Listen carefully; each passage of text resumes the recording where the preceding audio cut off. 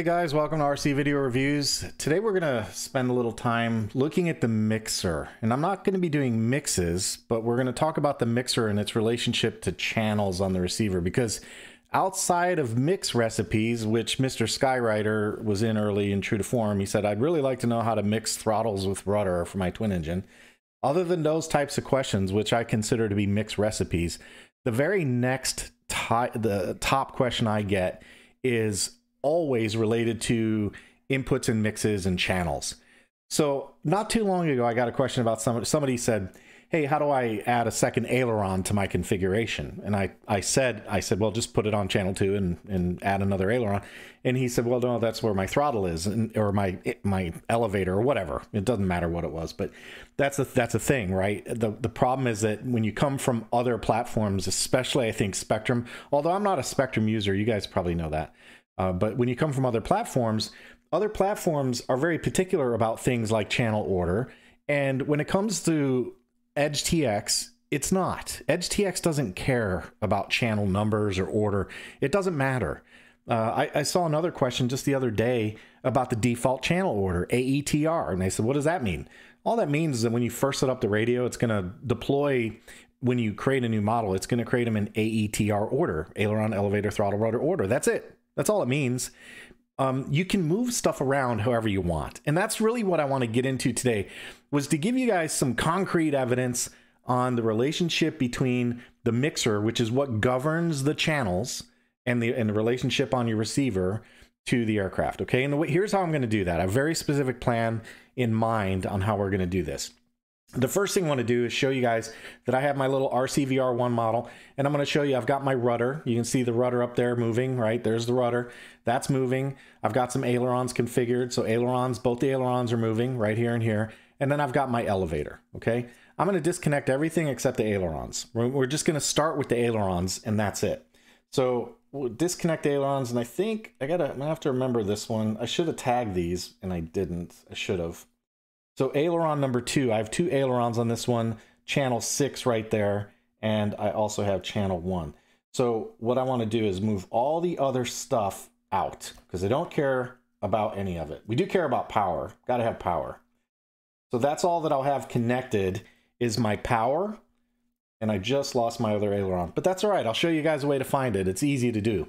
Okay, so all I've got connected now is the one aileron. That's it. One aileron, no elevator, no rudder, nothing else is connected. I simply have the one aileron right here. That lead is for power only. That's all it does. If I remove that, it removes power. It's power only. Okay, so in this model, now what I want to do is we're going to zoom in a little bit, right? Because I want to focus. Now we're only looking at the ailerons and we're looking at the radio configuration. So that's all we care about. And I want to, we're going to delete everything else. I'm just going to get rid of everything else. It's going to go away. We're going to delete it all. So the idea here, again, is to give you some concrete understanding of the relationship between the mixer and your pins on your receiver. All right, so all these other things are gone. Okay, so now all I have left on this radio is one single aileron, okay? That's, that's all I've got. Now, the thing about it is it, the reason it, this is a terrible receiver to use as the example because it's marked aileron elevator throttle. The reason this one's marked that way is because it's also a stabilizer. All right. If you have any other non-stabilized receiver, none of this other stuff matters. So here's what I want to show you. On this receiver, I have my aileron connected right there to pin number one. And on my mixer, I have my aileron connected to channel one. Now, the aileron is defined from the input. So if you go to the input page, here's where I define that aileron. So I call it, the input name I gave it is aileron, and the source that I gave it is AIL. The AIL right there is the stick itself. That's the stick. So the input creates a logical map between the stick and the radio, and it, it creates what's called an input. That input is now called aileron, okay? So now we're gonna go over to the mixer, and you can see that for the mixer, the thing that I'm using as the source for this mix, the source right here, is that input that I just created. Remember that input's connected to this stick. That's why that aileron works over there when I move this thing back and forth. Okay, now what I'm gonna do is go into the mixer and show you if, the, if I take that mix line or that aileron and move it, I'm gonna move it. So I'm gonna highlight it and I'm gonna go down to move and we're gonna go down to channel two and hit paste. And when I do that, notice that this aileron now is assigned to pin 2. When I move this stick, the aileron does nothing. See? Nothing. It just removed the input, the stick, from pin number 1 and put it on pin number 2. So here's how I'm going to prove it to you. Even though the receiver says elevator on it, I don't care. It's still pin 2. The only reason it says elevator is because that has to do with the stabilization function. So if you if you don't put them in this order, the and and the stabilizer moves, it has to you know if it pitches down, it wants to correct via the elevator, so it has to know where your elevator is. That's how the receiver does it. Outside of a stabilizer, this none of this stuff matters. All right, so I'm just going to take this aileron and move it from channel one, and I'm going to put it on channel two. Now, when I put that on channel two, watch what happens. You see how this aileron stick now moves that aileron? You see it? It's moving the aileron, right? That's because I moved the aileron wire to channel 2 and I moved my aileron input to channel 2. I can do the same thing on channel 3. Now here's why I'm I'm saying this to you guys. When I when I did this when when when I got the question about dual ailerons, I said just put it on channel 2. He goes, "Well, I can't. My throttle's there or my elevator's there." It doesn't matter. Move it around. You can move stuff however you want. So I'm going to go ahead now and what I'm going to do is I have to find my other aileron and I'll show you guys how to do that real quick. What I'm going to do is because I'm on channel 2, you can use this as a trick to find things. So I'm on channel 2. I don't want to lose my original aileron, so I'm going to have to hold on to that. So I'm just going to plug a wire into channel 2 and move. And nope, that's a flap. Don't want that one. So let's see. I think it's one of the short ones. I think it might be this one. I think it's a short one. I should have marked them. Bad on me for not marking them. I should have marked them. Okay, so try this one. There we go. I found it. Second wire, not bad. Okay, so there's the, the there's the starboard aileron, right? You guys, hopefully you can see that moving on the video. There's the starboard aileron, aileron, and here's the port aileron. Now, two ailerons. Now, only one's going to move. You guys know, does anybody know why only one's going to move? One's Only one is going to move because in the mixer, I've only defined the input aileron and I've only connected it to one channel.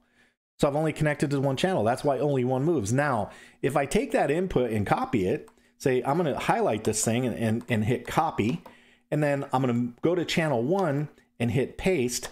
Now what I've done is I've connected the input aileron to both channels one and two. So I've connected it to both. Now if I move my stick, notice how both of those ailerons are moving right? So it doesn't matter if it's channel one or channel two. That's the thing. It doesn't matter. You know, it doesn't matter if your aileron, your elevator's there. And again, you have to ignore the fact this is a stabilized receiver. If you have a stabilized receiver, that's different. Again, it's because the stabilizer, stabilizer has to know where the control surfaces are to accommodate correctly when it sees a pitch change.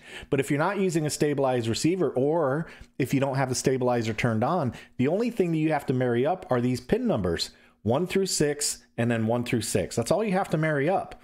Okay. I can move my ailerons. Look, I, I, just want to prove it again. I'm moving my ailerons. There's two ailerons. They're on two different channels. So I'm going to prove it again. I'm going to take aileron number two here on channel two, and I'm going to move it.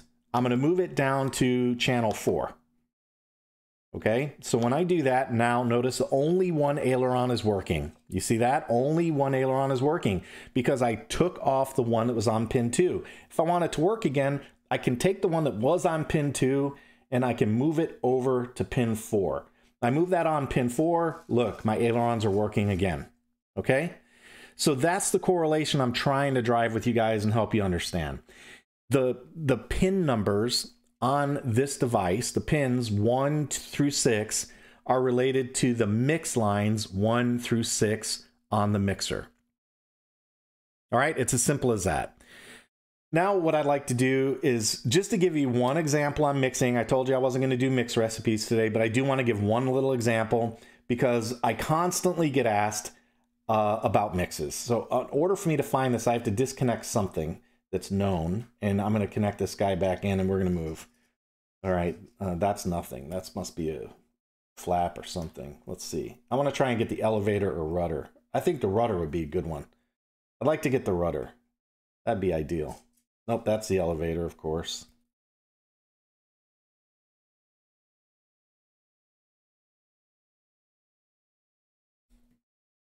All right, guys. little dead air here. So there's a flap. No. Why am I missing the rudder? Hmm. I'm gonna have to hold them and check them, I guess. So I don't I don't misplace. I must have missed it. I must have missed it the first time around. That's a flap.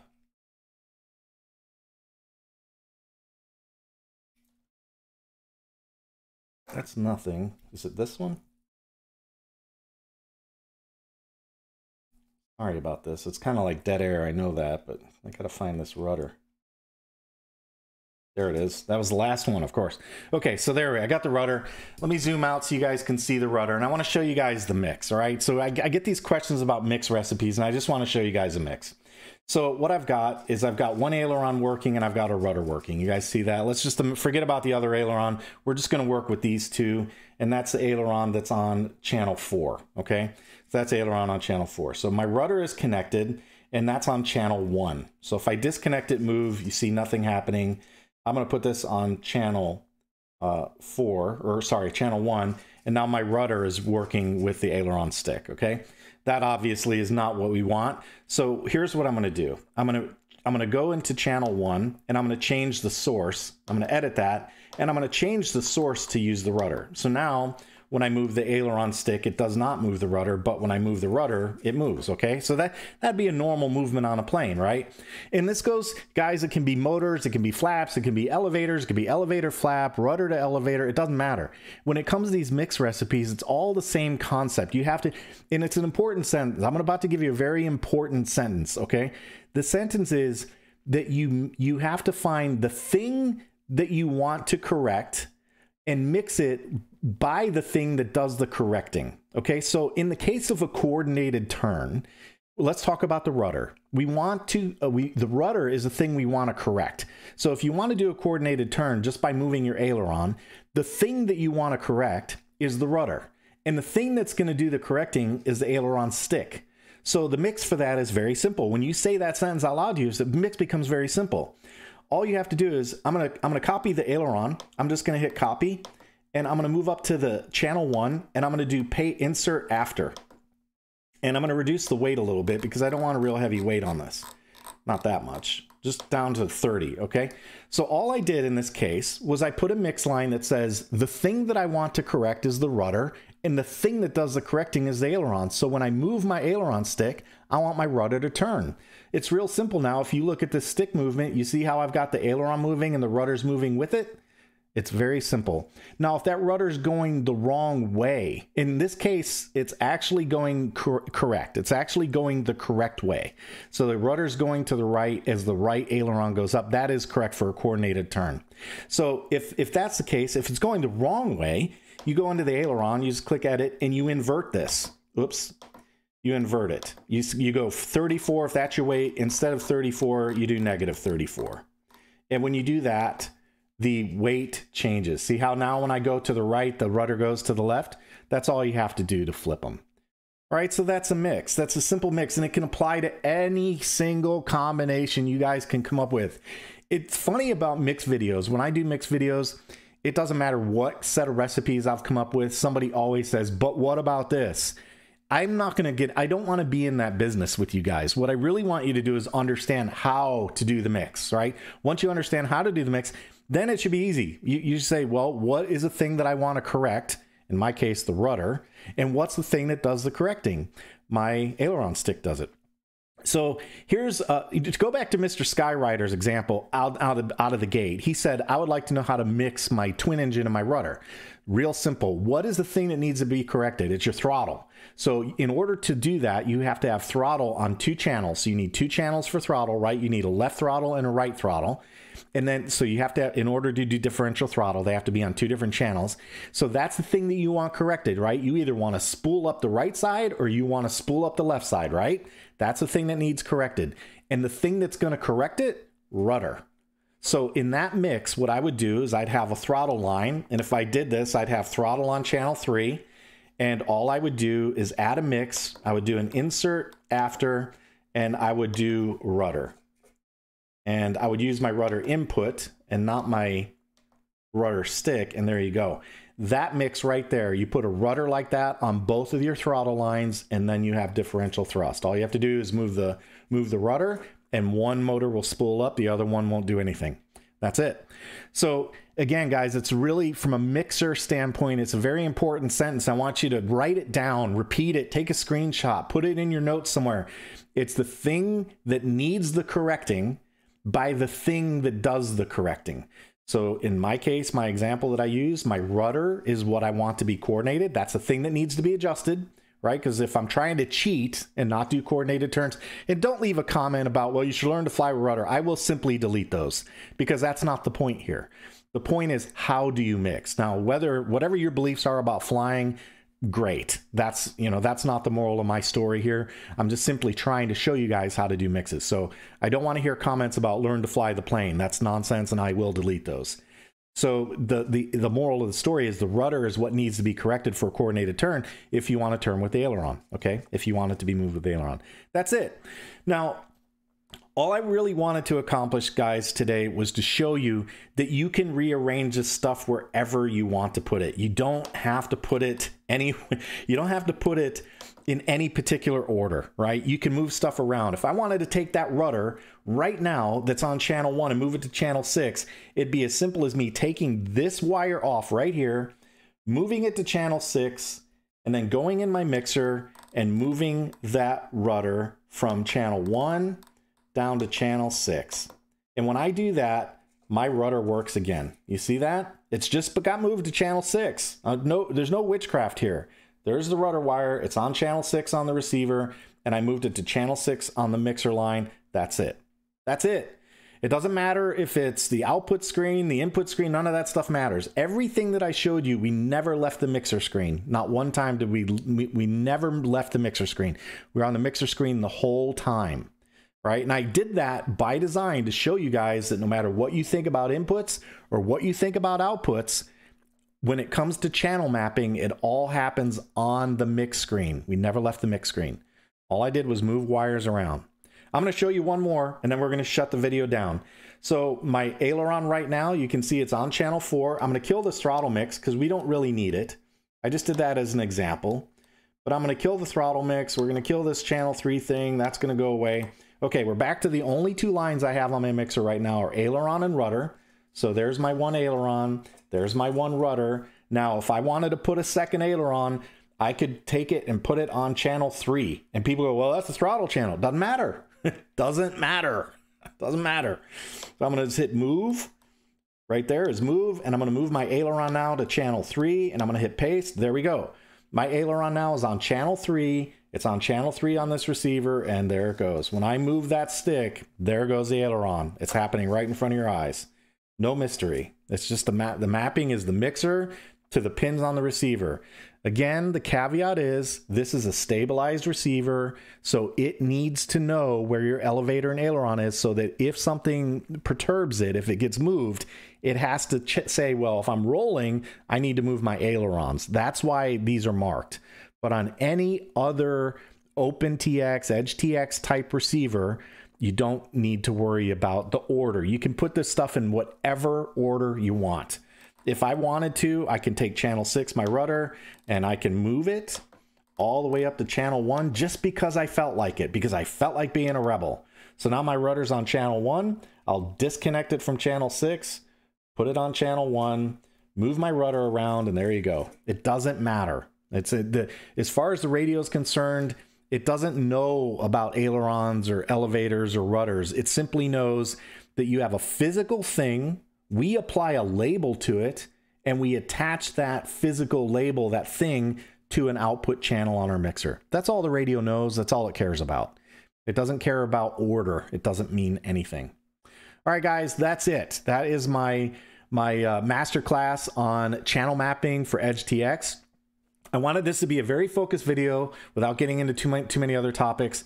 I hope from now on, if I get questions about channel mapping, I'm just going to direct people to this this video, and I hope you guys do the same because I know for people coming from other systems, that's not the way it works. I get it, you know, I totally understand that, but you have to kind of relearn a little bit, right? On on Edge TX, things are a little bit different than maybe what you're used to. So that's the way it works.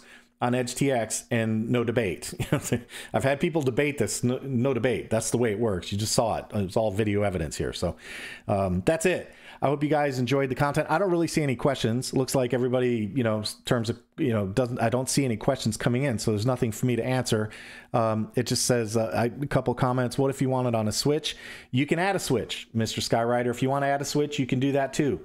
Um, if you want to add flaps on a switch, you can do that. Instead of using an input source, you just use a switch instead. It's the same thing. Uh, you just change the source. Uh, Patrick says good stuff. Yeah, thanks, Patrick. Glad you liked it. And uh, Mr. Skywriter says awesome, thanks. And, and Vaughn Live Tech says thumbs up. All right, guys, that's it. That's all I've got for today. Hope you like the content. Thanks for watching. Remember, if you like this kind of material, subscribe and hit that notification bell so you know when new videos hit the channel. That's all I've got for today. Take it easy.